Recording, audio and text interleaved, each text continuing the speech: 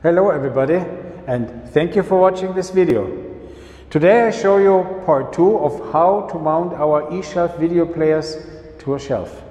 Today it's our new Tegometall mounting bracket.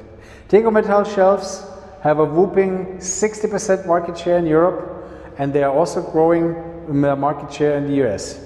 So this is how we mount it to a Tegometall shelf.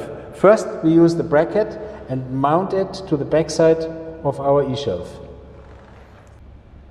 And now I show you how you mount it to our Tegometall shelf. You take the shelf, eShelf video player, basically just push it over the top and now you secure it with the two screws from the bottom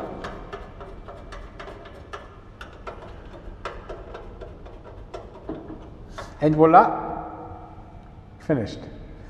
Thank you for watching.